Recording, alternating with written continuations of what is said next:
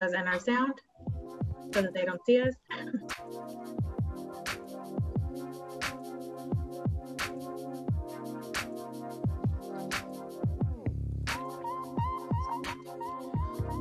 All right. How am I sounding? Sounding okay out there? Good.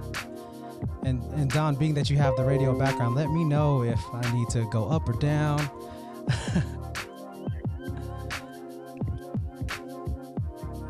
Yeah.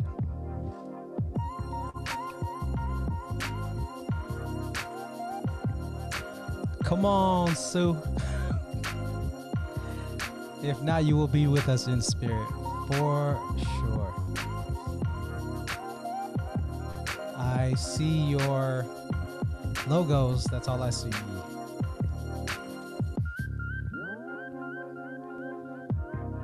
All right. Good evening, everyone, as we're getting ready and just waiting for everybody to get in. Welcome to tonight's webinar. Keep the light bright, too. Do me a favor, whether you are on Zoom in the Zoom webinar, let us know where you're viewing from. And if you're watching this on YouTube, also drop in the comments where you are tuning in from tonight. Or if you're watching this on the replay, uh, go ahead and just let us know where you are tuning in from city, state, parish. Uh, good evening, good evening, good evening. Go ahead and let's see who's here in the building today. Oh, we got Arizona representing. Thank you, Arizona. San Rafael, yes. Let's see. San Rafael is in the building. Julia, good evening. We got Jen Campbell. Let's see. Paula from SF. Who else is in the building? Michelle from Santa Rosa. We got Christy from San Jose. Yes, we got to see Christina Diaz, Sacramento, Deacon Dave, Deacon Dave, all the way from Sonoma. What's up, Deacon Dave? Teresa Santa Rosa, Cecile from San Mateo, Archdiocese of San Francisco, Chris Mariano in the building tonight. Yes, American Canyon Cat, Auntie Cat, Auntie Cat in the building, and Megan teaching.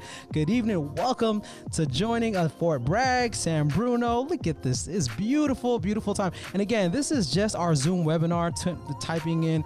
So if you are watching this on the live stream with YouTube, do me a favor again and type in there. We have moderators checking out the chat. So again, if you are just joining us, just let us know where you're tuning in from on this beautiful, beautiful Wednesday evening here for Keep the Light Bright 2. We're going to get started in just a moment get your pens out, get your pencils out. Wait, that's what I said. Get something to write on so that you can take notes tonight um, but more importantly, thank you for joining the conversation this evening. Greenville, South Carolina, Nancy McGrath. I am going to be in your region pretty soon.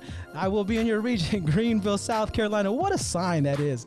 Kathleen Caperson, awesome. Santa Rosa, also in the building. Beautiful, beautiful coast to coast. Steve Morris says, yes, we are coast to coast because why? Because the Holy Spirit is in the Wi Fi, y'all. All right, so we're going to get ready in just another minute before we officially start. Keep the light bright too. Thank you again for tuning in. It is great to see everybody in the chat. If I can do me a favor, just can I get an amen? Drop an amen in the chat, y'all. Come on, let's do this. Yeah.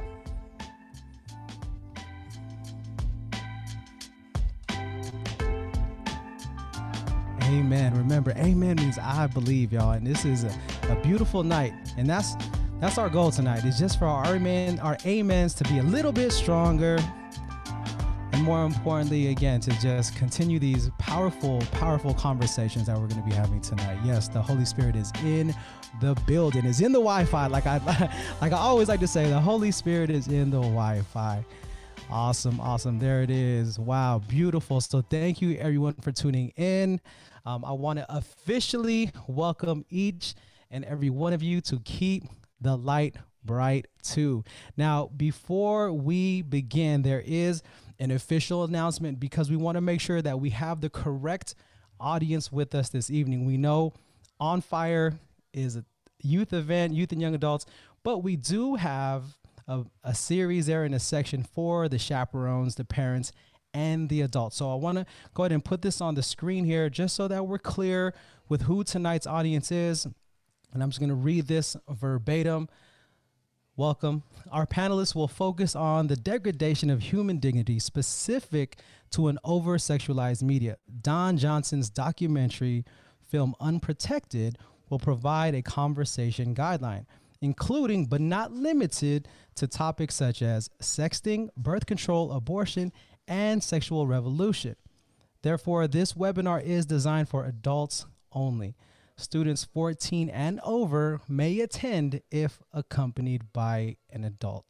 So, again, this is a very important and much needed conversation to have um, in the church. And we just want to make sure that, again, this is part of the five part series for Keep the Light Bright on Fire, which will eventually is designed to lead to the On Fire event in Vallejo. But again, tonight's conversations, tonight's topics are focused more for the parents and teens with their parents and youth leaders as well. So, again, we want to thank you all for being with us this evening. So, my name is Ryan Ramirez. Many know me as Bro Rhy, coming at you from the Diocese of Sacramento, and I will be your host for this evening and the remaining three evenings, and we'll be sure to give you the information on those events. So tonight, on behalf of the hosting diocese, which is the Santa Rosa Diocese, we welcome you to keep the light bright too, protecting the lives and the integrity, the lives of our young people with virtue and integrity.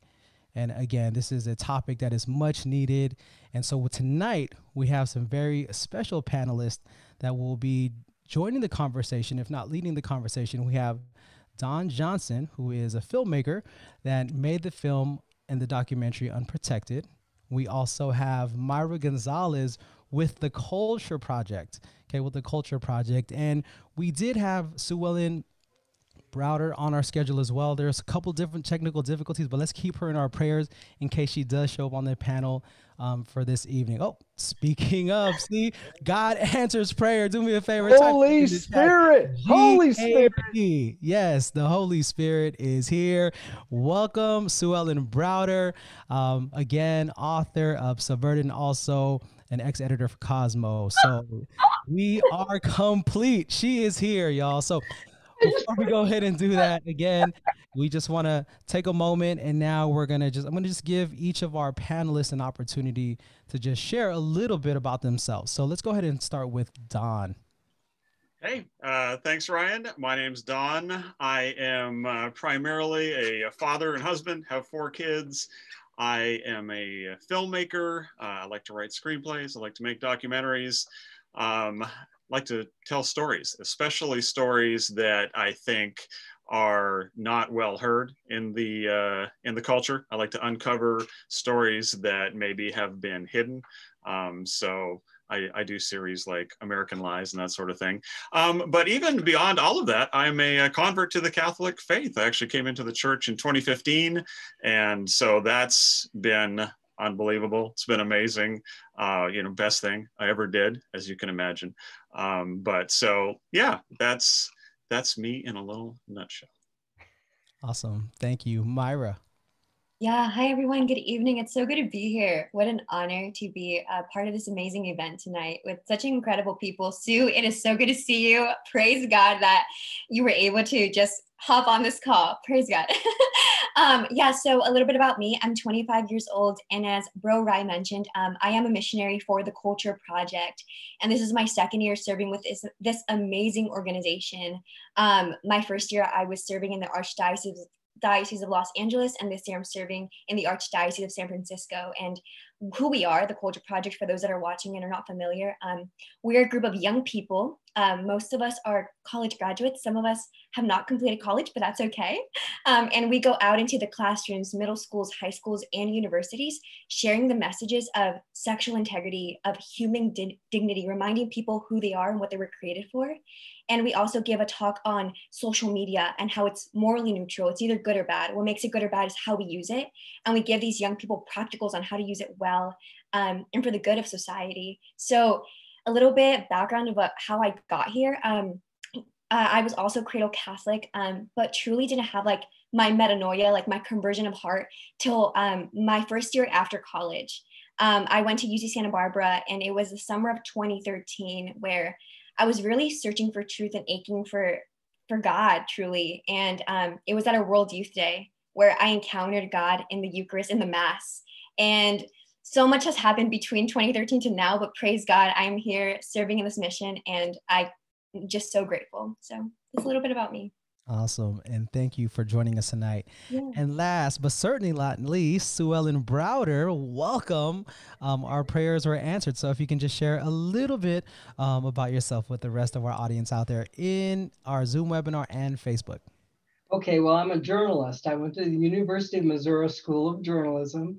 I got a great degree, and then I immediately fell from grace when I left college and went to New York City and got a job at Cosmopolitan Magazine. And uh, that it was only after I became a Catholic that I began to look back because we made a lot up a lot of those stories at Cosmo. Those were not real people that were having all these wonderful lives. They were made up. And after I became a Catholic in 2003, I began to look back and see all the damage that had caused in the culture. And of course, how did I become a Catholic? Well, I read the catechism. I was searching for truth. I was always searching for truth because as a journalist, you do hopefully look for the truth. And uh, I was looking for truth and I read the catechism and I, could, I couldn't put it down. I read it for three days straight. It was the most joyful thing I'd ever seen. And, and I gave up my whole career as a, as a journalist because I couldn't no longer do what I was doing. I was like Matthew, um, the, who was called, who was a tax collector, and he couldn't keep being a tax collector. I couldn't keep being a journalist the way I was. And so I became a Catholic writer amen amen and thank you for for being with us today. Yeah drop the net and go. Follow me jesus says. So so yeah so we have an awesome evening prepared for you tonight. It is again a privilege and honor for me to even be part of this discussion. And so again this was this whole conversation was based around the documentary unprotected. So we're going to go ahead and put a little clip just to kind of give you uh, for me when i first saw this opening clip I mean, my instinct was like, oh, oh. intense. So check this out.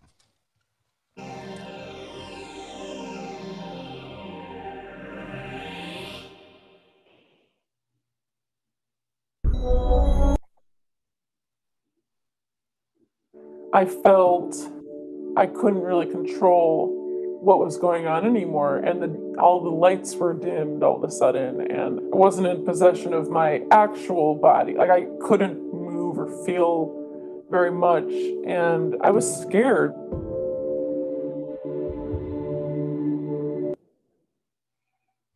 So imagine just opening up to to that and when i first saw that clip was like okay this is to go deep so so now we have the creator the one who's behind who was inspired Don johnson if you can just take us back like why this film why this topic and what inspired you to create this documentary Sure, thanks, Ryan. So to give a little context for that clip, that's the opening clip uh, in the film, and it is a young lady who writes under a pseudonym. Actually, she wrote a book about her experiment uh, experience, who was date raped in college, and she she tells a story about uh, the hookup culture, and that's kind of how we open up the film. Um, she didn't want to be on camera. In fact, she wasn't sure she wanted to be in the movie uh, but I talked her into it. Uh, but the reason she didn't want to be on camera is she didn't want her dad to know what went on actually at college. And that really struck a nerve with me because the reason I ended up making this movie is I'm a dad. Uh, I've got three girls and a boy.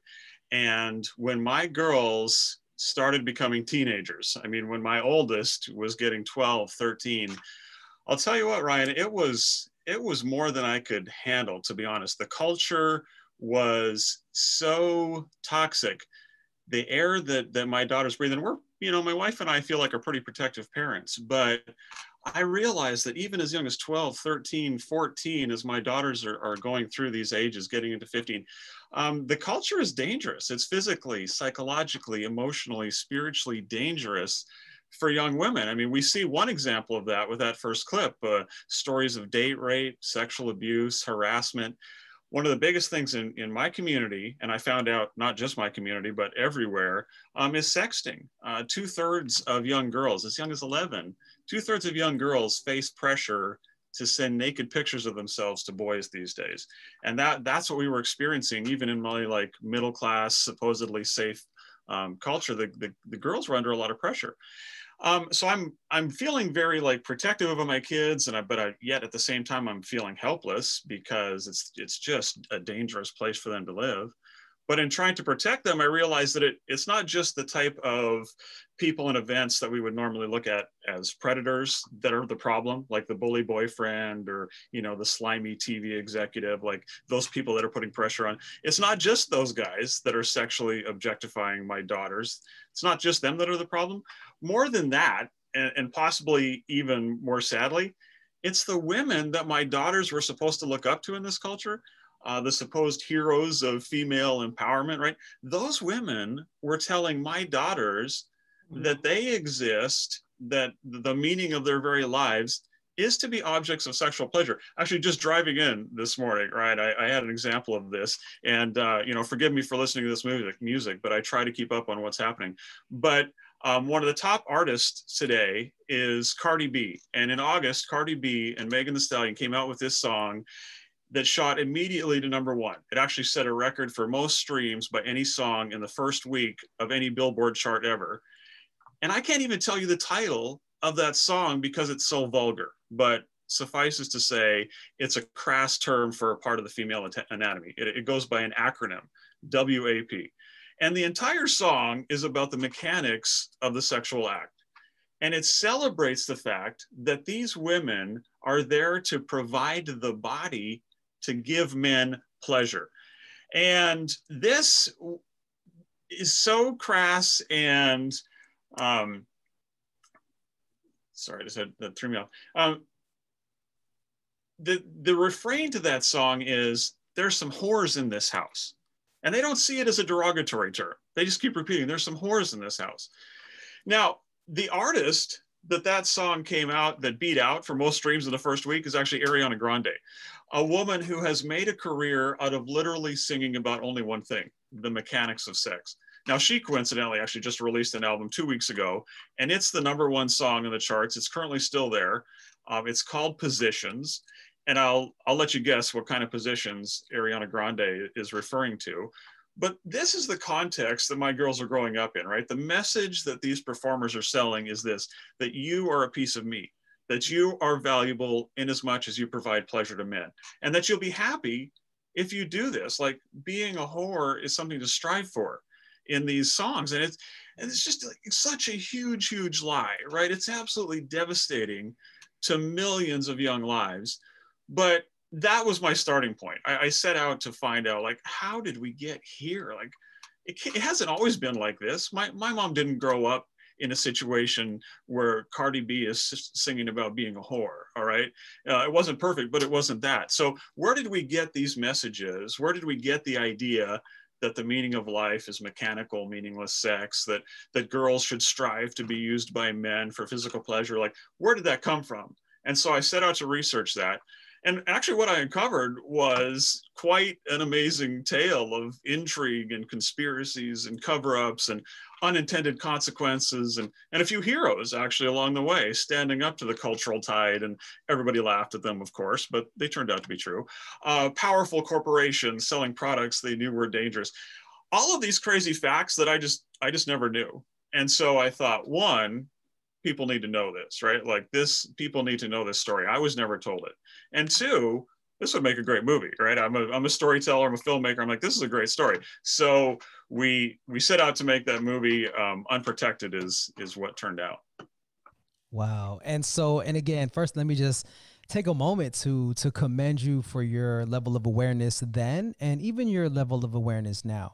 I think because of the culture that we're in, the fast paced culture that we're in, it's easy just to kind of bypass those things and not really pay attention to it. You know, you know, we see the smiles and the kids having fun, so it's kind of like okay, it is what it is. But you actually had an awareness to you know be on top of this, but not just be on top of it, but to figure out like how did we get here right? And that's something that I'm curious to know even a little bit more about. Like, so I heard the word research and game plan, and that's what I love about documentaries. This one specifically is that you like went deep. So if you could kind of take us like, so you had this idea, you figured out I want to protect my daughters and and other girls and, and just again the lives of giving the virtue and their integrity. So what was kind of like your game plan uh, moving forward once you had the idea? Yeah, I mean, I, I'm a I'm a reader. You know, I like to uh, I read and write books, and so uh, I started just researching. You know, went down the rabbit hole. Um, where did some of these ideas come from? It's kind of the same approach, frankly, I took to becoming Catholic. Um, the, the reason I became Catholic, uh, I tell people I read my way into the Catholic Church, right? You just you keep you keep researching, you keep reading, you find out things that you were never taught, and you end up, you know, as long as you keep the truth in front of you, and like i'm going to pursue the truth um, wherever it leads even if it's uncomfortable. And frankly like becoming catholic was rather uncomfortable for me. Um, but you got to go down. So that, that's the approach i took to this. Um, just as a side note ryan i, I want to thank you for um, just pointing out like being aware um, as parents as youth leaders i mean we got to be aware of what your kids um, are I mean the the nasty nasty stuff that's on Instagram and on this um, even if it's not like this song that I'm talking about the number one song this year WAP um, this song you you won't hear it probably necessarily on the radio although there is a cleaned up version but everybody knows it. Everybody's listening to it. TikTok is absolutely filled of it. So I'm just saying like please be aware this stuff's happening. But anyway I mean this is what I found. Um, it started out you know I, I dug into history and the 20th century was not it was not exactly a time of contentment uh, on the planet, in, including in America. And if you if you look over the history of the U.S. during the last 100, 120 years, you actually see a history of, of big ideas, sometimes um, promulgated like by famous people, like a particular spokesperson. But all of these ideas offer salvation of some kind, right? Like you can find happiness and contentment that you don't currently have if you do this. And so in the 20th century, you see at the beginning, you see the rise of nationalism, right? Like find salvation in your country or in blood and soil and in the really racist forms of it. Um, you see the rise of communism, like find salvation in economic equality. Uh, Post World War II in America, you see the rise of consumerism as the salvation opportunity of the moment, right? Like buy stuff, achieve the American dream, get that house in the suburbs, get that Hoover vacuum cleaner, and you will be happy. Like this is how you're going to be saved. Um, but the thing is, consumerism did not make everybody happy, uh, especially the women who were supposed to push that Hoover vacuum cleaner around uh, and you know carry their kids off to school. I mean, it didn't provide happiness. And so, in light of that, we actually saw a new ism or a couple of new isms arise offering salvation.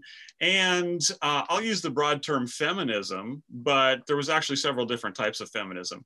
But even early on, and there's and there's more types now.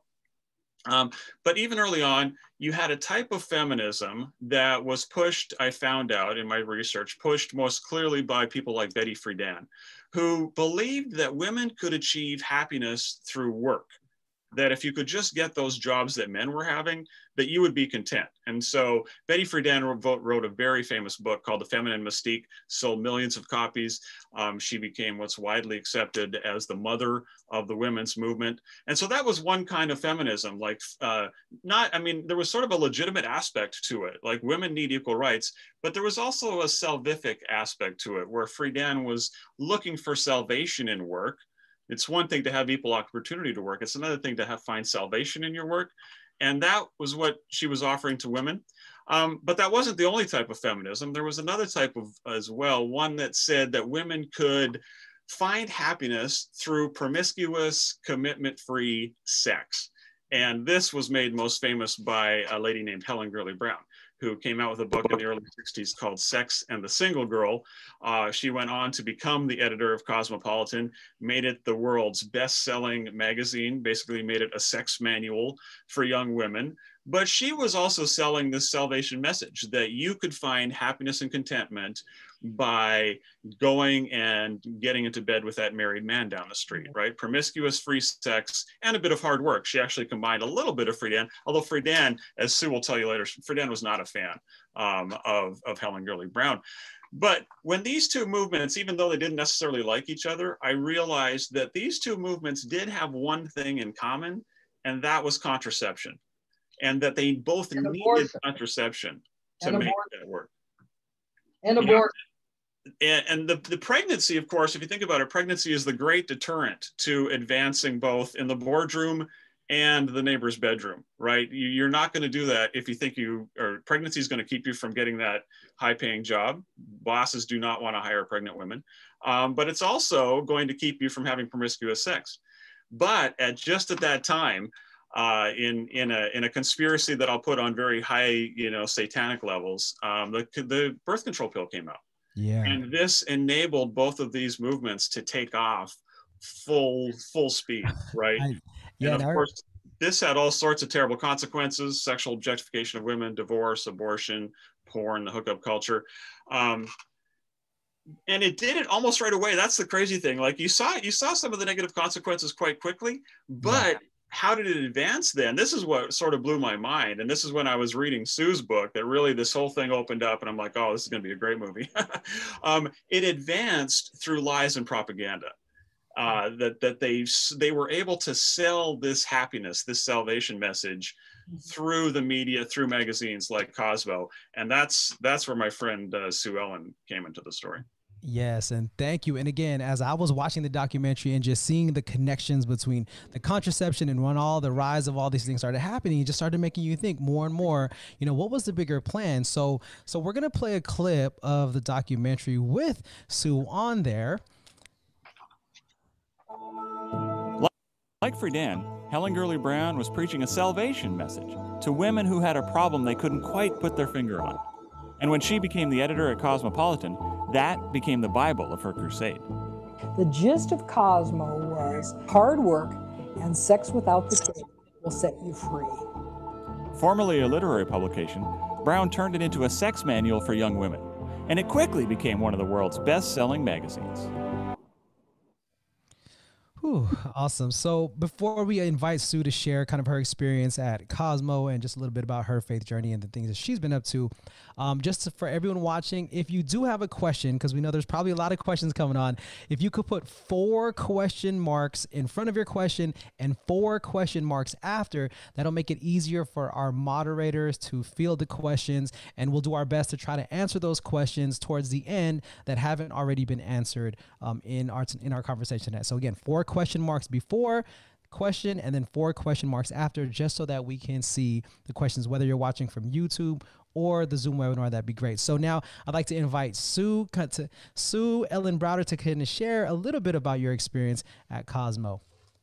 Okay, well, Cosmo is now just a metaphor for all of this stuff that's happening. It was the first sex magazine for women in America, and it was very, very successful.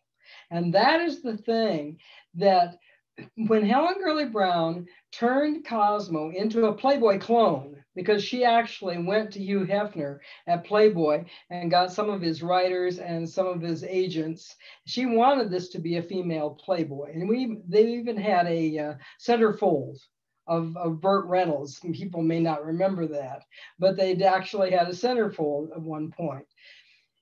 When Cosmo became so successful, the, the uh, advertisers loved it. So this magazine, just when the magazine became so successful, all the other women's magazines began to copy it in one form or another. It, it, was money, money, money, money. And, and there were things at Cosmo that we could never talk about. One was the uh, problems with the pill. You know, any side effects, you couldn't talk about that. You couldn't talk about uh, the negativity of abortion for women. All these articles were all made up. Helen Gurley Brown even had a list of rules on how to make up stories about these women that were having these wonderful sex lives, but they weren't real. That they're still not real. When when you see these these women so many times, even Helen Gurley Brown, when she was 72 years old, said it was no fun to wake up scared every morning. The, the very philosophy she's selling is a, a philosophy fear, not joy, not joy that's my that's my message. Wow. Yeah and it and it, it kind of you know we think about fake news today and yeah. so it's not anything new. Um, and one thing that i also noticed in the documentary were the statistics with the mindset when it came to women infertility versus their careers and how the more they wanted their career, the mindset of fertility or starting a family actually got lower. So speaking of fake news back then, and I'll be honest, I remember seeing Cosmo at you know the grocery store and it just catching my eye because there was a, a, beautiful lady on there, and even though I didn't know what it was and I was so young, uh, there was something intriguing about it for me to just kind of look through the magazine, right? So as we think about kind of how all this is coming forward and where we are now, um, and fake news isn't anything new. We talk about social media and and the way that we use filters and the way that we post things that aren't even real. I remember I was scrolling through Instagram and there was an app where you can actually put your take a picture of yourself and then it'll carve out like a six pack of abs for you. you know? and and you can post that and it like creates the same skin tone, same color. So so with that, the culture, the culture that we're in today, it doesn't sound like it's too far off from what it was even back then. But speaking of culture, we have another guest, Myra Gonzalez, who wants who's going to speak to a little bit about the culture, the hookup culture, um, being you know a young adult. And I would love for her to kind of share her experience with fake news, with social media, and kind of the culture around these topics. Welcome, Myra. Thank you, Bro Rhy. Yeah. Um. So I don't know if I said this in the beginning, but I'm 25 years old, so I'm probably the same age as some of you watching. Um. And yeah, growing up in a culture, um, I, I can say that 17 magazine and Cosmopolitan magazine were definitely magazines that I purchased at a very young age and it sells you a recipe for counterfeit love, a recipe for counterfeit truth. And we, it's enticing. And we as young women find those magazines glamorous. And many times we read these things and we're enticed. And we're like, if this is what Cosmo is selling, it, it might be like okay to try and, and, and say yes to, but then being part of this culture and to give you a little personal background, trying the culture and seeing it wanting and I wanting to find truth and and I saw and I've sought love and been part of this hookup culture and in this culture that we feed in today um, with the messages that we hear in the radio and what we see on billboards. Um, I remember trying these things and it was not a recipe for real happiness. It was a complete opposite. I was feeling empty, alone, and depressed. And the reality is that if Cosmo or all these magazines were selling uh, what really mattered or really was true, then why is it that I was feeling all these, all these, em- this emptiness inside truly? So a lot of like with this mission that I'm part of, the Culture Project, is truly an invitation to remind young people of who they are, but they can't, they don't know who they are until they know whose they are. And that's a big reason why I'm here today, uh, realizing that I am a beloved daughter of God.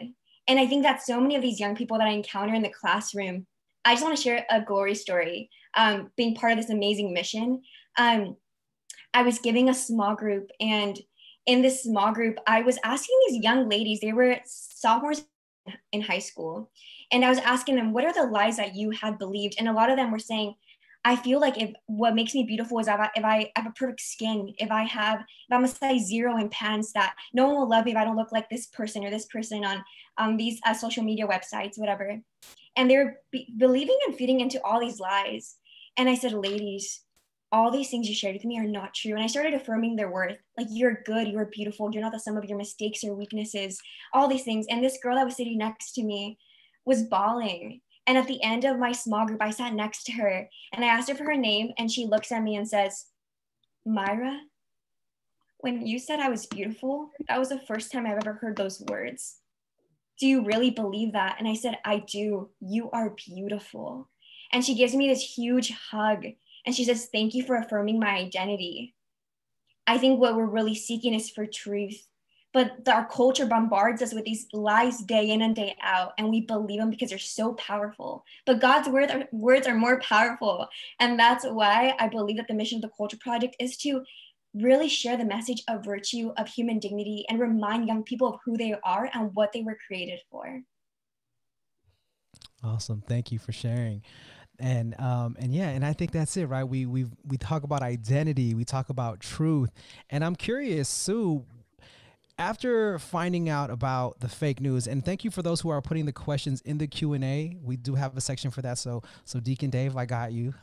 Um, but i'm curious sue like once you found out like this was fake news like what was kind of your reaction your mindset to it? Because i remember you said like i just i got it. I can't do this. I'm out of here. Can you kind of take us through that process? And even like on a spiritual level for your own faith like what what did it take for you to just get up and leave? Because i think we all know what's right and what isn't. And we all know we're all in situations where we know we probably shouldn't be. But like it's it's different when you know uh, especially in big moves like yours like with companies and organizations. So can you just take us through that process on what you did sue? It was a long process. Um, i was a freelance writer and i was writing at home. I was living a double life in my home at with my beautiful family, my two children, my a wonderful man, wonderful husband. I was planting flowers. I was made, baking bread, baking chocolate chip cookies, living this beautiful life. And then I was writing all this malarkey, all these lies for Cosmo. There was a lot of con- uh, conflict in me, but I didn't know where it was coming from a lot of anxiety, uh, depression, all of this, um, because you cannot betray the truth and still be happy inside all the time, right? Um, so it was when when it, it took a long time because I kept telling myself, well, everybody's doing this, which which everybody I knew was. You know, I knew a lot of writers who were doing this. I knew a writer from Time Magazine was writing this baloney for Cosmo. So there are a lot of people doing this, and I just said, well, nobody's going to believe it. It's just a bunch of malarkey. Nobody's going to believe it. But it was, as I say, it was only after I became Catholic and looked back on it. But when you tell lies, you're going to get caught. And at one point, I had an abortion and that was the tour was was one of the well obviously the stupidest thing i ever did in my life. And it was only after i became catholic and was able to go to confession and get healed from that that i was able to face the lies i told the you know because if you cannot face the truth if you don't have god's forgiveness you just can't do it. You you you you'll, you'll find all sorts of excuses why you did that. But but until god can forgive you and you know that you're loved even when you did all of these horrible things then then you are set truly free. Amen. And uh, thank you. And we're going to pray for for all those who struggle with abortion, um, those who've had it, those who might be considering it. So we'll make sure that we add it in our prayers when we do our rosaries. Um, and I think, you know, it goes to say like, it was a buildup, right? There was a buildup, and I know Don mentioned earlier the statistics of of sexting, and I'm just curious from Myra's perspective in in the rooms, the classrooms that you visit, or you know even in your own circles. I'm curious to that statistic because I I think that that can kind of be kind of like the gateway to all the other stuff. It's like watching it and seeing it, you know, on on social media or in a magazine, and then you know receiving it on your phone or you know giving them on your phone. Like I think, and then it leads to the next thing to the next thing. So Myra, I'm just curious, kind of um, what your thoughts are on that. Uh, maybe mm-hmm. in some of the experiences you've had with young young people in sexting. Yeah, thank you. That's a great question. Um, well, before I go into sharing a bit about my experience in the classroom, I, I want to share my own experience. Um, I want to just touch on Don. Um, Don, the reason why you created this film, um, I think, is incredible. I think as a father, you care deeply for your children. And for all those watching, I know that you care so deeply for the young people that you're uh, discipling, ministering to. And that's why you're here to get informed and to share the truth with them. And I think growing up in a in a Catholic household, as I mentioned in the beginning, um, my parents never had a talk with me about sex. Um, and I think it was something I never brought up because I was embarrassed. Growing up with two Hispanic parents, it was something that was never truly talked about in my home. And I remember at the age of 13, I was dating. I got in, in a relationship and um, it was not so long after dating this guy that he asked me for a sext. And I remember receiving this message and it, in a sense, breaking my heart that he would ask me for that. And I remember instead of going to my mom, who would probably tell me, no, that boy is not worthy of your heart if you're going to send him any picture of anything anything naked on your body send a picture bare hand waving him goodbye because that man is not deserving of you instead of running to my mom who is obviously my my guardian, my the best person to run to. I ran to my best friend in high school and I told her about this this situation. And the first thing she says is, Myra, he's your boyfriend. You love him, don't you? He loves you. Send it, girl. And what did I do that night? I went home and sent him a picture he never deserved. And for a few, high school, truly, for three years, I struggled with an eating disorder. And I truly struggled with depression and anxiety. And every time I looked at myself in the mirror, I didn't feel good. I didn't feel loved and I didn't feel beautiful. Because at the end of the day, we're not objects to be used, but people to be loved. And if I had heard at age 13 that I was worthy of so much more, if I had heard a talk on chastity, if I had someone to walk with me or my parents to tell me the truth about the issue of sexting, I probably wouldn't have sent that boy a sext. I wouldn't have. And I think that my 13 year old heart was aching for truth. And I encounter so many young girls in the classroom who have actually, this was, this has also been their experience. I was giving a talk at an all girls high school in Los Angeles to 400 beautiful girls. And I shared my story about sexting with them. And at the end of the presentation, I had two girls crying in line, waiting for me to talk to me. And they look at me and say, Thank you so much for speaking up, speaking up about um, the issue of sexting. Myra, for the first time, I feel like I'm not alone in this and I can share my experience. And it was just such an impactful, impactful experience for me to see that these young girls were keeping this hidden because they were afraid. And I got to speak to them about, about God's mercy and love and the sacrament of reconciliation. And I said, We can start again, ladies. We can start again today. And um, it was just such a a beautiful encounter. And the reality is, when it comes to the statistic you asked, uh, Bro Rhy, um, 17 Magazine actually interviewed 11,000 girls, and 62% of them have reported that they have sent a sext. 62% of 11,000 girls that were interviewed. And about 31% of teens think, think it's safe. So, therefore, that's why the messages that we share in the Culture Project are so important because we, we remind these girls of the truth and the underlying issue of sexting, what it actually does. Because at the end of the day, I want to reiterate this line we're not objects to be used, but people to be loved. And we get to remind young people of their worth, their dignity, and their goodness. Thank you. Thank you. Thank you. Thank you. Um, do me a favor if you're watching this on the replay or even live and you got any value so far, just put the word value in the chat box because I don't know about you at home. And again, I've had the pleasure in working with all of these panelists prior. And even till this day, I am still gaining so much more value um, and how powerful it could be just to sit with our young people and just let them know how beautiful they are inside and out, right? And I think that, again, the documentary Unprotected aims at taking us to how we got here, but also even pushing us forward on how we can protect the virtue and the integrity of our young people. So, Don, I know you've you've kind of been listening in, and you just want to get some of your thoughts before we uh, jump into some of the Q and A. And actually, there's another clip we want to share, um, Fulwiler, and I'd like you to set that up as well for us, if you don't mind. Um, yeah. So, just a, a couple of thoughts. Um, before before we see that clip as I'm listening to Myra speak. Um, the just the idea here she is she understands now that she has that Myra has two three years taken from taken from her teenage years where she's mired in depression and I don't, I don't know, Myra, you would have been connecting that at the time to sending, maybe you would. I don't think that a lot of girls are. That's the thing, right? And not a lot of girls are making that connection. Yet teenage depression is absolutely through the roof. It's absolutely pandemic. it is the worst thing happening to young people today. Teenage girls are absolutely depressed, yet they're not making the connection as to why. Why am I constantly uh, depressed and not feeling good? Well, they keep getting this message. This message are you're an object to be used, and they're going through with it, and it leads to nothing but pain uh, and problems. And so, just to to reiterate that the truth sets you free, and making these connections, like it's it's like we're doctors, you know, it's like you're sick because of this. Stop ingesting, um, stop ingesting what's making you sick, and you'll feel a lot better.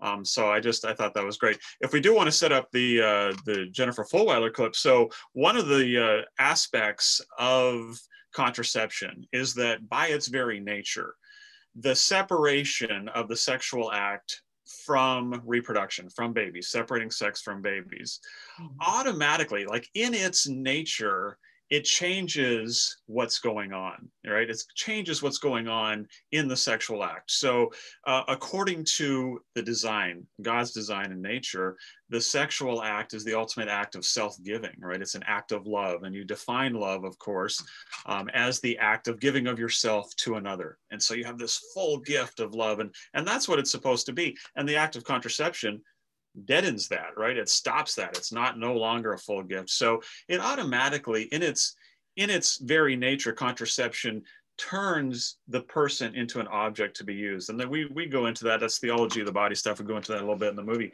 Um, but Jen Fulwiler, a friend of mine, um, had this amazing experience where she's reading Humanae Vitae. And if, of course, if you haven't read Humanae Vitae, you should. Um, amazing document came out in uh, 67 talking about the dangers of contraception and, and, and Paul VI. When everybody's expecting, you know, oh, the church is going to change its teaching, he says, no, we are not going to change our teaching. Um, and in fact, if we, if we were, everything would fall apart and he prophesied a lot of the bad things. But Jen um, is reading that document and, and we'll play the clip now and has this sort of epiphany, which is pretty cool. reading this On Human Life encyclical, and I had some women's magazines spread out in front of me. And I realized that every single one had the word sexy somewhere on the cover, sometimes more than once. All of these articles were how, how to please men sexually, how to be sexy. The women were dressed, you know, unbelievably scantily clad, you know, showing off everything. And I thought, this isn't how my grandmother's dressed. This isn't how my great grandmother's dressed. This is not how women have ever been encouraged to dress in human history. And I had always bought into these ideas that, oh, that's because women were repressed and, you know, that's it, it was an anti woman thing that women didn't used to, you know, let it all hang out. And then I thought, you know, as a woman, I don't think I want to be told that wearing micro mini shorts and a, and a tube top is like how I should be dressing. Like, I wish the standard of style was, frankly, a little more forgiving.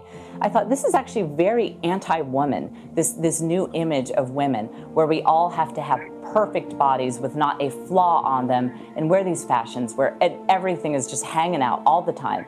And I thought, when did this style of dress change? When did it go from women dressing in a, a fashionable but dignified manner to having to look like stripper Barbie all the time?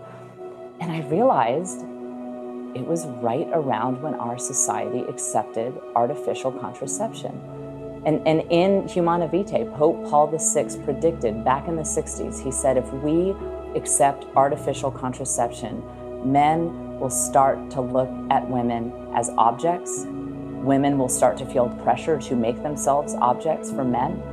And I looked from that encyclical to the magazines on my bed, and I realized it happened. He was right.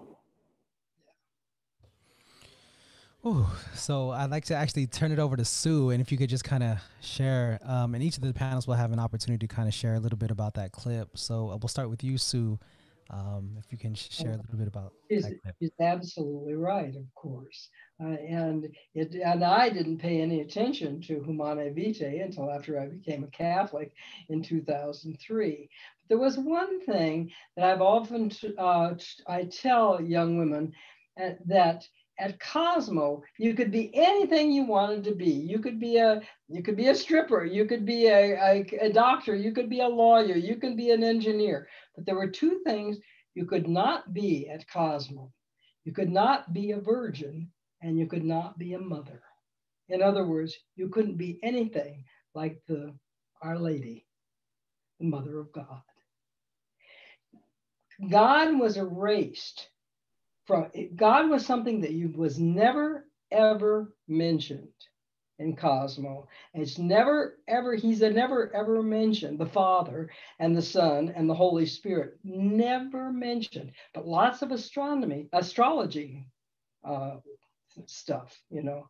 So it's it's all about magic. They've erased God and Our Lady from popular culture. She's they're gone they're gone and and that is why people are so miserable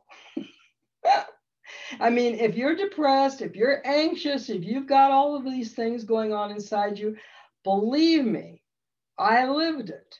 And when I came into the church and found out that God loves me, I've been joyful ever since. And that was 2003. And, and it doesn't go away. This is the answer.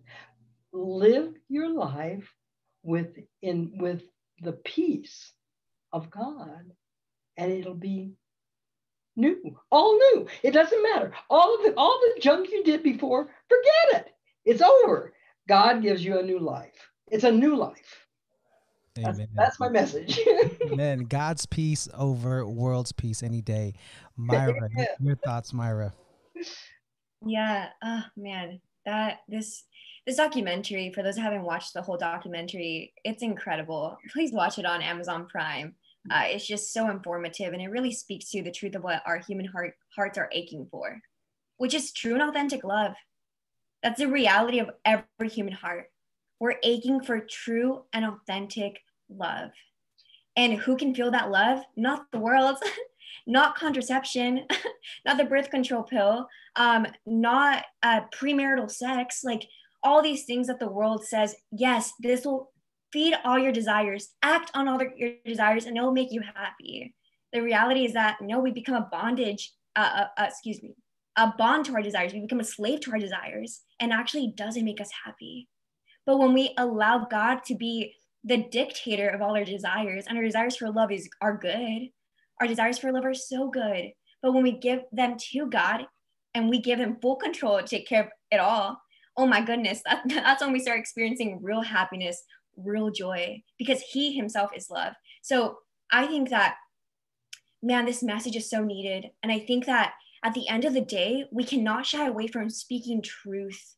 And it was really at the age of 18 where I heard my first chastity talk, a talk on purity. And it was the first time where I looked at this. Uh, actually, I wanted to share is that it was actually at NorCal on fire. It was at on on fire on fire event where I heard, yeah, where I heard my first chastity talk. And it was at this event where I remember just it was after um, letting go of this relationship in high school that I just felt so lost in. Um, and I was sitting in those pews with my youth group at that time and I'm looking at this amazing woman, probably a few years older than me. She was filled, there was something special about her. She was filled with so much joy. And she literally just said, chastity is not about the it, it doesn't look at your past it looks at your right now and where it can go and you have the ability to start over right now and i remember looking at this woman and i started crying and it was almost like the whole arena like she was just looking at me and it was like christ in her and i remember thinking to myself I can choose to live a life of virtue right now. And God doesn't look at my past. He's looking right now, my present, and He's saying, Myra, I'm going to be with you. Just give me your desires, give me your life, and we'll I'll take care of it.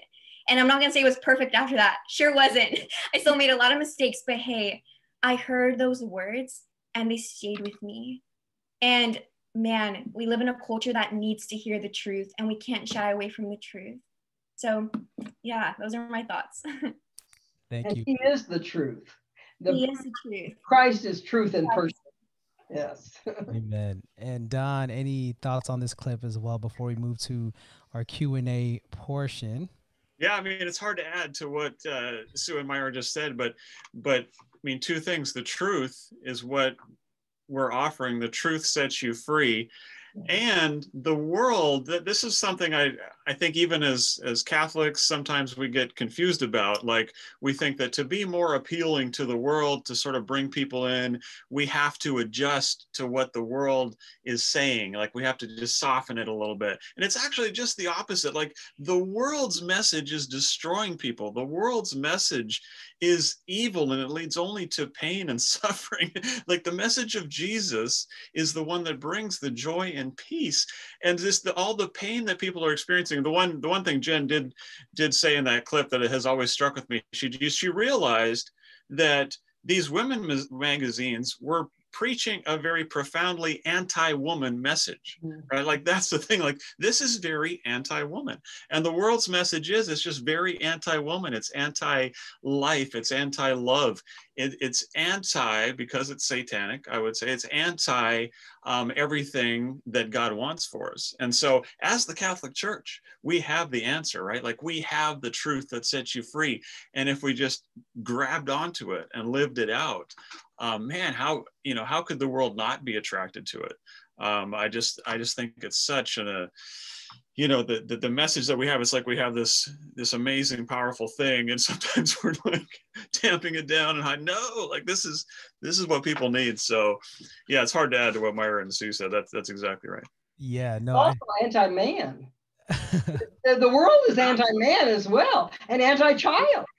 Oh, I mean, it's incredibly anti-child. So, I mean, that's yeah. it's chill and men too. And I, I, I keep asking like, when's the men's documentary coming out? Yes, we'll we'll get to it. But um, and children. I mean, the children, the anti-children, like children are literally the enemy.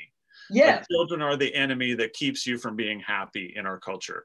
Um, women are told that um, you need to be protected. Literally, that's what have have protected safe sex, so that you protected from what? From kids, right? Like kids are what's going to keep you from getting the money and the fame and the sex and all that stuff. I mean, such an evil message, and it's a you know you wonder why kids are a mess. Kids are a mess these days Uh, because they're they they get that they they get that this culture looks at them as roadblocks to be overcome and that millions of their friends who could be here like kids are smart enough to get this.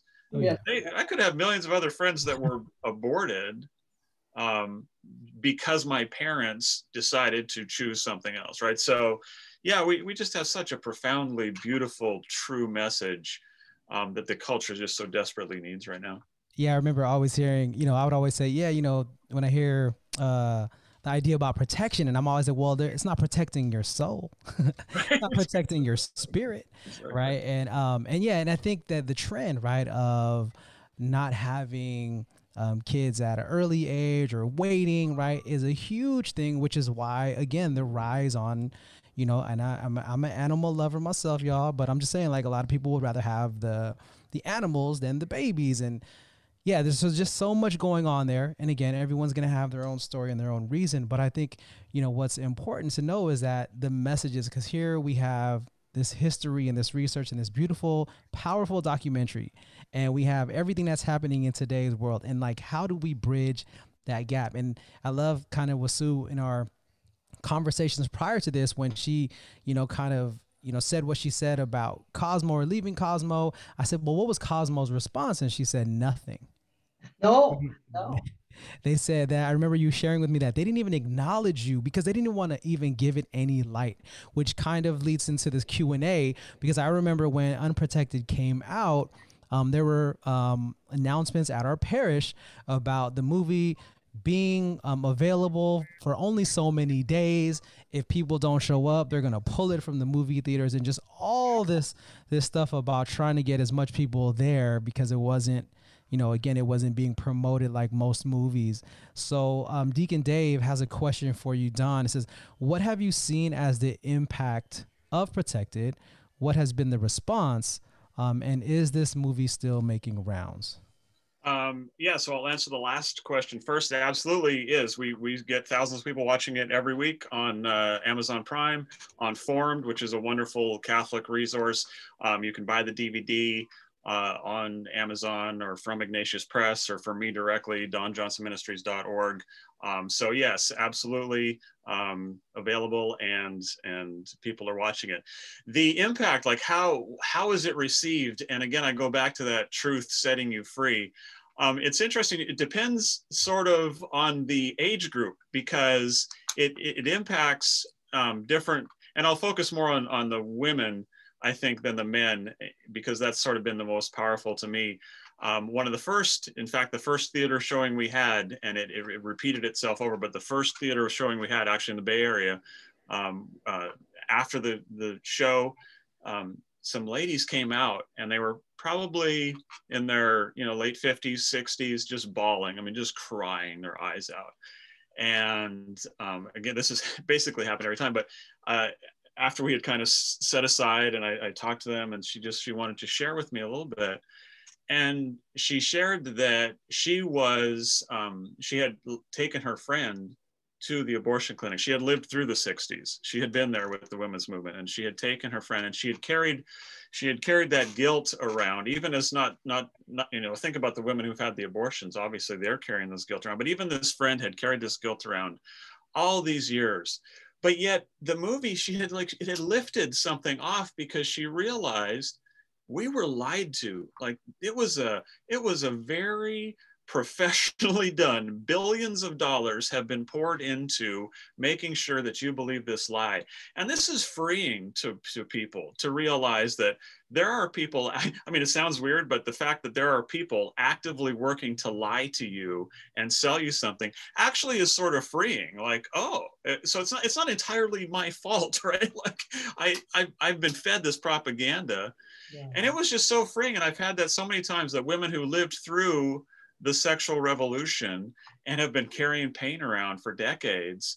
Um, they didn't know the backstory. They didn't know the millions of dollars that were spent lying to them. They didn't know all the bad science. They didn't know all the, the big pharma, what they had done, what big media had done. So there's that to that to that sort of age group where people have a lot of like freedom now, realizing all the work that went into that. But then there's like the middle, uh, I would say like a middle age where you have women who have chased after the careers and they've put off marriage and they've put off childbearing. And they're too just under a lot of pressure. I mean ivf is through the roof. You know there's, there's that that um, sort of sad career woman stage we talk about in the movie a little bit. And and again there's it's a freeing for them too. There's also a sadness that they've sort of they've missed out now and they realize. But but it's it's an explanation to all of these age groups. It's an explanation like oh, that makes sense. But then there's also, um, I would say, with that age group down, there's like, man, I wish I had known this when I was 19, or I wish I had known this when I was 18, because that would have saved me a lot of heartache.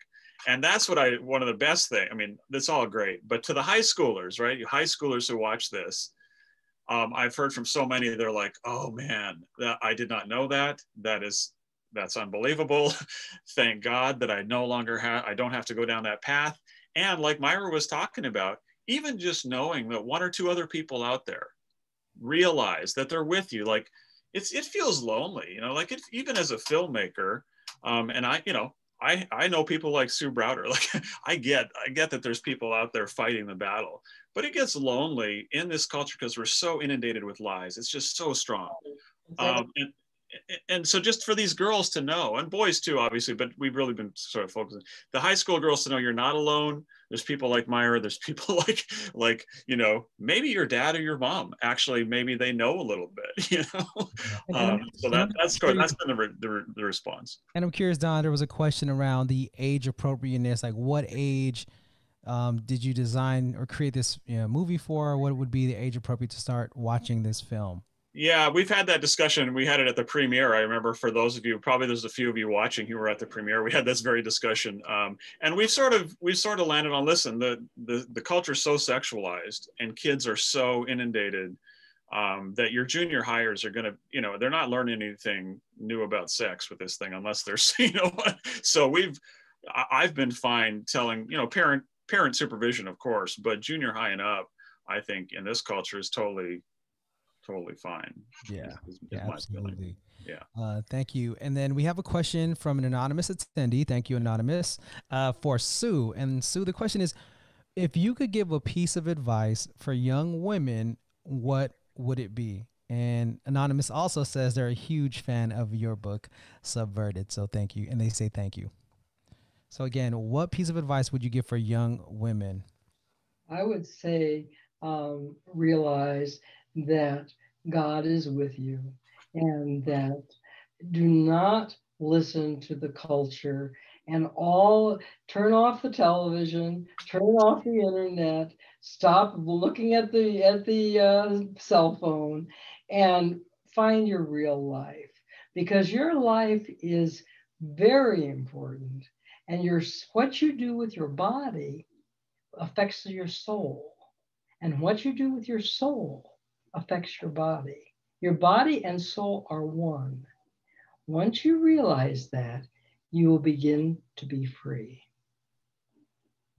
Mm, thank you. So yeah, look at Myra in the back. Snap, snap. um, and, and I do want to just throw this out there because I know you had mentioned earlier, like where is the version for the fellas, for the guys, and I and I do want to, you know, put out there re- representing, you know, the males here that there is definitely um, pressure as well. Like I had mentioned, the Instagram, uh, you know, what's it called the, uh, the Instagram commercial on how like how to put abs on yourself and all those other things. So it definitely is the same for for me anyways uh, in growing up on you know um, having to look a certain way to attract a certain girl right? And all those other things and the pressure right? I think that's kind of the underlying thing the pressure of being right or fitting in you know? And again it's just us forgetting that we are enough. It's us forgetting that you know whose we are right? And i think that's something that i just wanted to throw out there because i know again this is this unprotected was definitely filmed with uh, uh, Don's daughters in mind and all women around the world, but also just kind of representing for the fellas out there and the brothers that, you know, we definitely feel um, similar pressures, similar pressures in terms of how we um, show up and how we show out. So I would, I mean, just to build on that, Ryan. Uh, a lot of people watch the. Interestingly, and I would encourage everyone actually uh, to go to Amazon, not just for selfish purposes, but to get the movie out there a little bit. And if you like the movie, um, please review it. Give it because it's because basically what happens with the film is you either get five stars or you get one star, and the one star um, comes from inevitably uh, you can go and actually look for yourself and you tell me if there's a one star there that doesn't come from a very very angry person who has had a lot of pain has probably had a broken family several instances of you name it they've been through it. And here's the thing to look back it's it's very painful to look back on your life and to think that wow I've been lied to and I went along with that all that time. To if you don't accept the freedom, I, I mean that's what Jesus sort of dealt with in his ministry. Like a lot of people just rejected rejected Jesus, but that's like they're rejecting like the message. They can't if if I if I accept this message, and so they get very angry.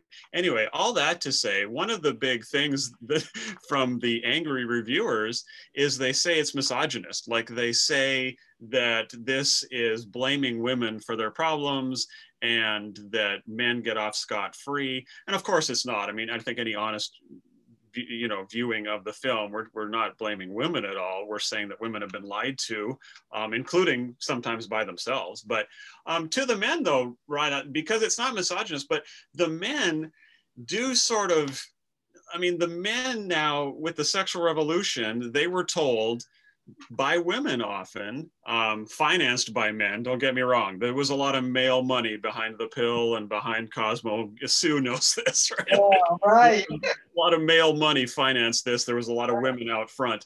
Um, but the men, if you, if, if you tell a guy, I mean, you tell a guy, listen, you can have all the commitment free sex you want and you don't have to get married and you don't have to settle down. I mean, what happens to guys? They take the free sex and they don't settle down a lot of times and they sort of just roll with it.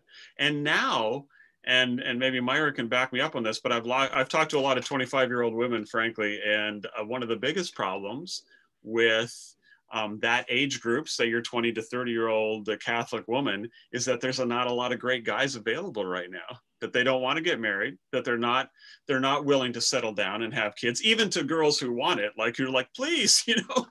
And and why is that? Well, it's a, it's a, it's because of the sexual revolution, right? We've told men the same thing that no, I mean, we, you don't settle down, you don't take responsibility for a family, you don't have a bunch of kids.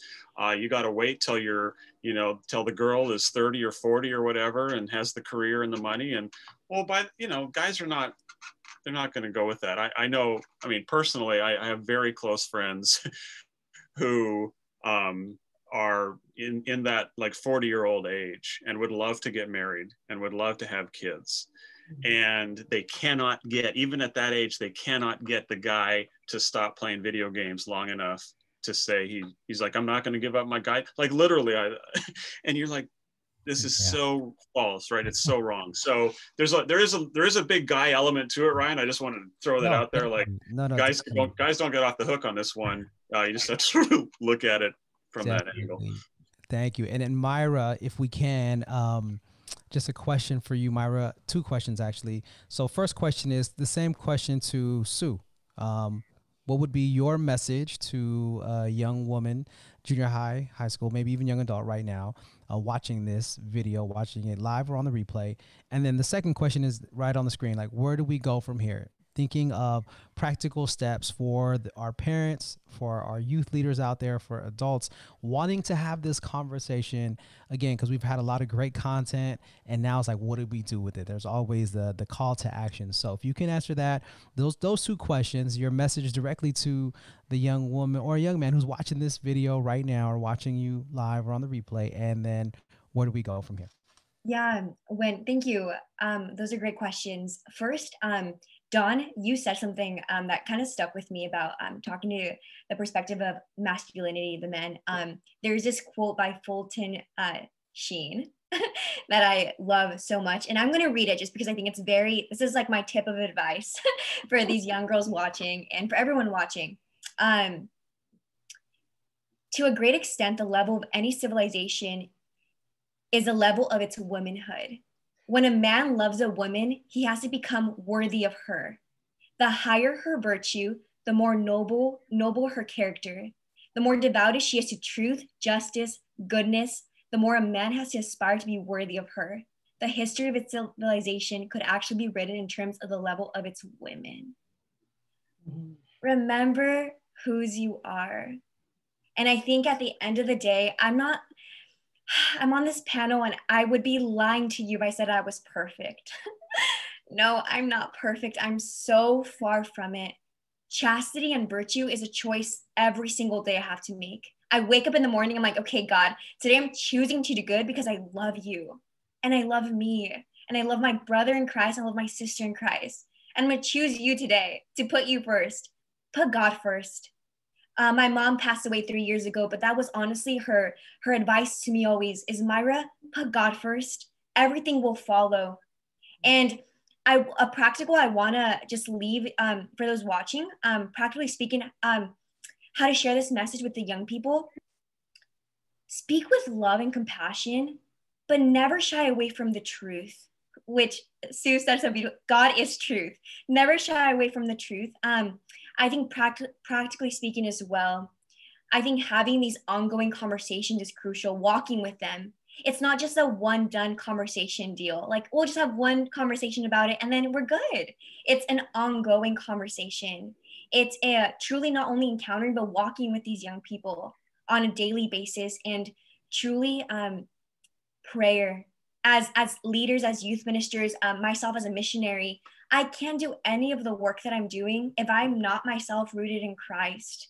And I need to be rooted in Christ. Pray, pray, pray. Pray without ceasing. Um, that would be my practicals for you. Um, and last thought I think it's very important to remind the young people that if they're trying to live out a life of virtue, they need to be surrounded by people who believe the same thing accountability. It is so hard to really live out this message when we're when we feel alone when we're like oh, i'm the only one that truly like believes this. Surround yourself by people who are also striving to striving to live out virtue. And i promise you it's not only easier but the more that we apply it it becomes part of who we are. It becomes a part of our day and day in and day out. So those are my practicals for you. Awesome. So just to recap that speak the truth with love put God first, pray unceasingly, and environment, right? Like the mm. saying goes, it's not the seed's fault if it doesn't grow. So putting yourself in the right environment is key. I mean, again, so we're going to go and ask, we're going to take this question to Sue, our Sue's final thoughts and some of your practical advice. Again, keeping in mind our our parents and our youth leaders here that are watching. And I'll just read this. Where do we go from here? Protecting our children from social media seems impossible. Preparing um, versus, versus sheltering seems prudent. How do we prepare them to combat clickbait and prevent the inevitable mental health issues? How do we focus on the truth, beauty, and goodness God has built within each of them? Well, of course, every family has to be a little church you know the praying and and reading scripture every evening going to church regularly this will protect you but also why not set 10 young ladies getting together and reading and watching this film together?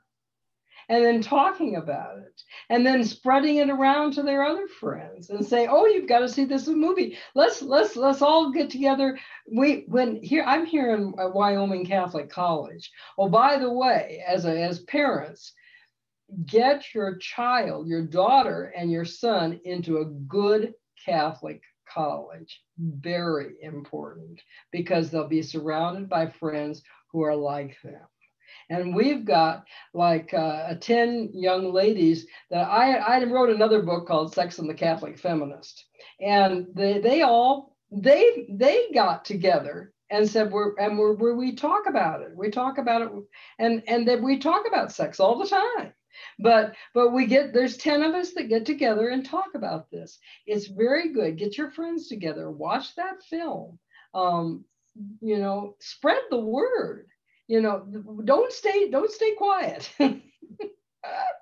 Amen. And so my takeaways from that again as you're sharing this is domestic church continue to build that domestic church daily um, small communities um, really build that small community and then you know bring it from the inside out and be contagious. Luke 12 49, Jesus came to set the earth on fire and how he wished it were already blazing.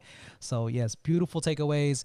And then if we can bring it over to Don, some of your practical practical tips and ways you know where we can start now for those um, that are just watching this um, watching our evening tonight yeah, I mean, I, I, like that you put that it's inevitable that the kids are going to get that uh, on their social media. However, I would say, um, on one hand, I agree with that. They're going to, but you, they're going to get it. On the other hand, as parents, we don't have to just give it to them. All right, so we don't have, they don't have to have a phone. Uh, they don't have to have full access to all internet. Um, I personally um, do give the kids a phone, but at a certain age, when they get old enough and never alone in their bed, and I've got software that tells me exactly what they're looking at each day. Um, now, I personally, I'll be honest, I, I shared this with the panelists. I I had a hard time with my oldest daughter um, as a teenager, just talking about some of the stuff, you know, and it's sometimes very hard as a parent to talk but um, I don't know if we don't maybe we don't all necessarily communicate the same way. And so as I as I shared with you guys, I actually I literally it wasn't just a, a, a plot twist. I literally made the movie so my kids would watch it. Like if I I know I didn't if I didn't have my daughter going through what she did, uh, the movie would not have been made. Interestingly, um, she she watched the movie and it did help. Like it did actually help um, with our relationship, with her view of, of sex and all the rest of it. So I do think we got to be aware of what they're seeing, but also controlling it. And at the same time, um, I know that maybe some of you are, are, are a bit surprised that I know, uh, you know, about WAP and Cardi B and, and all these things. Now, you, I think, I feel like you got to know that stuff. And that the fact that my kids know that I know the lyrics to the most popular streamed songs um, I think helps a lot with them. So it's na- I listen and, and if I it's nasty out there, but I know it's nasty and they know that I know that it's nasty. And so it's almost like we can kind of like I watch TikTok. We actually have a time so with my middle daughter, she's now she just turned 16. We actually look at TikTok together at nights. Mm-hmm. Um, now I don't listen, I don't recommend that. I got a lot of filters and stuff on, but some and sometimes there's some nasty stuff that comes through there but at the same time us watching it together and me being able to interact with her like she knows where i'm at you know? And so amen. so there's that. And then finally listen i gotta i gotta shout out to what both of you everybody has said. And also um also um, in the uh, in the comments i saw my friend sheila point this out and i think this is excellent. So i want to make sure everybody on video gets this. Um, sometimes the church we feel like we're our own worst enemy because we're scared of the truth a little bit right? Like sometimes we're scared of the idea that the church teaches against contraception or same-sex stuff or all that like no the church's teaching is not there to hurt anybody. The church's teaching is the truth and the truth leads to freedom and joy and happiness we have that by not by hiding it under a bushel by not sharing it with people um, we are doing them a big disservice and we're really hurting hurting ourselves in the process. So, um, so sometimes getting this movie out, um, even even some dioceses, like I'm so happy for the Diocese of Santa Rosa that they're promoting this awesome. You know, not every diocese would do this. So there, there is that, like the truth will set you free, ladies and gentlemen. We live in, a, in an area of, in, in an era of lies, like lies, lies, lies everywhere. Um, stick close to the truth and, and don't be afraid of it. Amen. Amen. So my my takeaways, bro, Rhy's takeaways from your uh, sharing was number one, borders. I mean, not borders, boundaries. Set the boundaries um, with our young people. And I think it's really important to set them with them so that there is a level of agreement there, but set the boundaries. Number two, um, I thought about fortitude and not necessarily having the courage, but more of the fortitude and staying in the battle to have those difficult conversations. And back to what Myra said, speaking that truth with love. And the other piece I got from you was be present. They know that you know means that you are present in their life. And I think that is so important, especially now how busy we are. Your presence is the best present. So being present to that, knowing that you know that you know what's going on, um, and then truth, coming back to truth. I think that not veering away from it again is really really important. So again, a lot of value here, everyone. Um, to all the panelists, I just want to take this moment again. This is a collaborative effort um, before we get ready to um, shout everyone out, we're going to put here on the screen ways that you can stay connected. Okay, so if you see here, if you choose to watch this documentary, Unprotected, which is available on Formed and Amazon Prime, please note that the topics covered tonight are explored in greater detail and may not be suitable for your child. So, again, just keeping in mind those age appropriate age restrictions there. So, we have Unprotected there, we have the book uh, by Sue Ellen Browder, Subverted, and then we have the Culture Project. So, um, again, please stay connected with with everyone. And I do want to just again highlight that Keep the Light Bright is again is an on fire movement. Uh, every year in Vallejo, California, my hometown, whoop, whoop, we have at Discovery Kingdom thousands of teens on fire for Christ. And we have talks, we have music, praise and worship, adoration, you name it. And we have workshops for the adults. So this is the second Keep the Light Bright. Okay, so we have five total. So the next one is going to be coming up pretty soon. But I want to shout out again the Diocese of Santa Rosa is hosting tonight's event. The last event was the Archdiocese of San Francisco. And we also have the Diocese of Sacramento, Reno, Fresno, and San Jose. So this is definitely a collaborative effort to speak the truth boldly. Um, so I just want to presence all of those who participated. Um, and at this moment, I do want to thank all of our panelists um, tonight for just being in the conversation. Thank you for those who are still on with us, or if you're watching the replay. Matter of fact, if you could, if you're watching on the Zoom webinar or on YouTube, if you can just put one word that describes your feeling right now after this beautiful, fruitful conversation. If you can just type in one word in the chat, um, something that is just is resonating with you right now, or it could be a few words if it's more than that, um, just to kind of show a little bit of gratitude to our panelists. Um, but yes, we are going to go ahead and now put up our next event. Okay, our next slide. Our next event is going to be Jan- in January 2021. So check it out. We have Okay, now this one is for again all of our youth, young adults, and parents are invited as well. And this is called Rise Up Young Church, being hosted by the Diocese of Reno with special guest Mark Hart.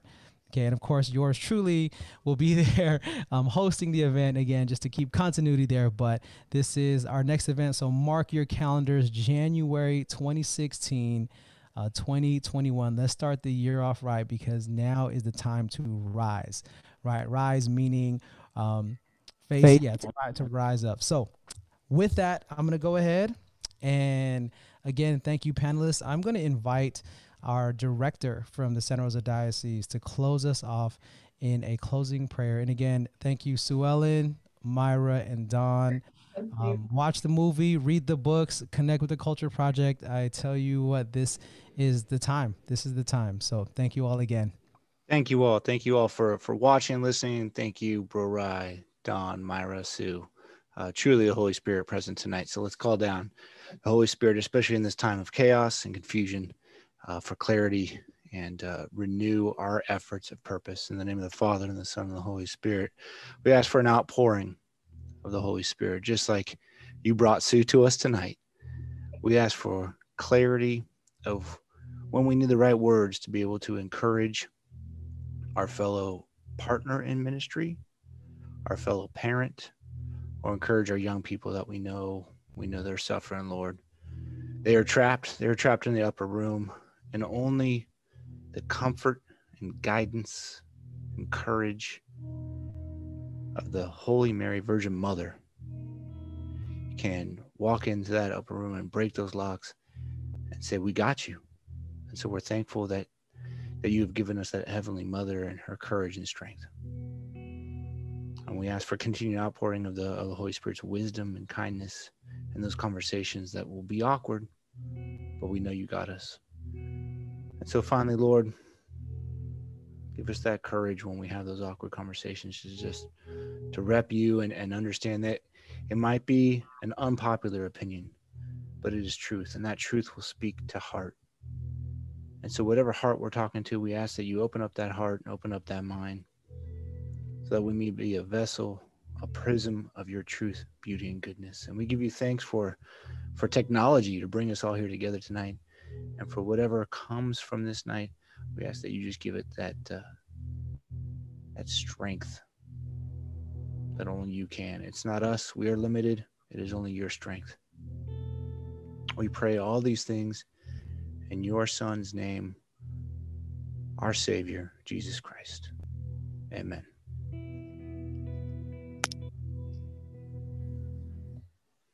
All right. Have a good evening. Take care, everybody. God bless you all. And we are out of here. Keep the light bright too is officially over. Have a great rest of your evening. Pray for us because we'll always be praying for you. See you at Keep the Light Bright 3. Peace.